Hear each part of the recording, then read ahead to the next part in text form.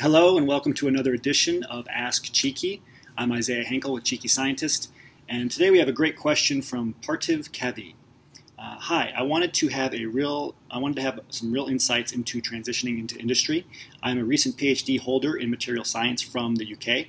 I'm very interested in transferring my academic research experience uh, to an application scientist role, uh, but the people I follow on LinkedIn uh, in similar areas as me uh, seem to have two to three years of postdoctoral experience. My question is if anyone could guide me whether I should do a postdoc first or transition directly into industry. After going through job specification uh, for these roles, I found that most companies prefer postdoctoral research. Uh, so this is a great question, and we get it a lot. Um, you know, there's it's the underlying question is should I do a postdoc or transition directly into industry? Is there a value of doing a postdoc anymore? And if your goal is to transition into industry, um, we've been very clear on this in the past, there is no reason for you to, to do a postdoc. There really isn't. Um, if there's a company out there with a specific position for you and they tell you, look, you need a postdoc before you can go into this position, only then should you do a postdoc. Uh, but in most cases, you can get into these positions without a postdoc. And a lot of companies, they hire uh, they hire people with bachelor's degrees or even master's degrees, and then they train them on the job up into these roles, the same roles that you're going to get uh, with your PhD and, and with your postdoc.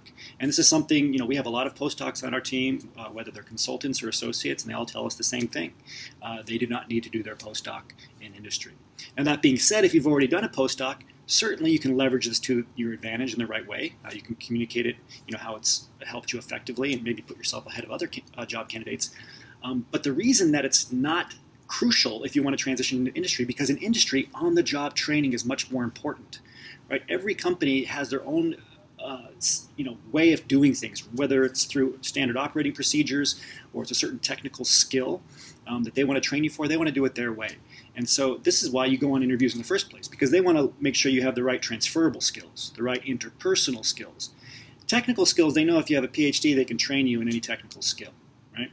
So this is why it's, it's really important to understand that on-the-job training is valuable um, and it's a crucial part of, of being able to transition directly into industry once you have your PhD without needing a postdoc.